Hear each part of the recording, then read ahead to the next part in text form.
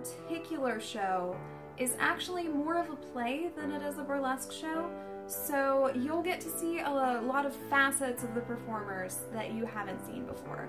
Uh, there's acting, there's some stunt fighting, there's just a lot more involvement from our performers that get to show, like I said, unique sides to them that they don't always have the opportunity to show.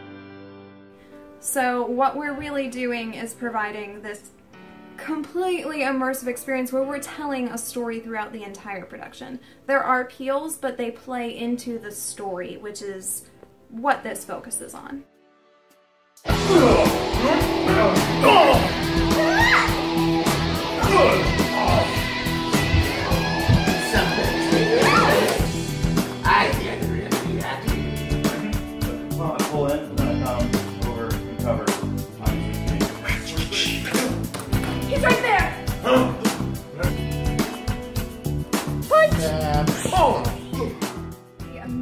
Dedication this particular type of show requires from our performers is honestly more than any of us expected and everyone has really risen to the occasion. They've dedicated time, they've dedicated talents. We've hired someone to come in from outside to actually help us coach us through the fight scene specifically.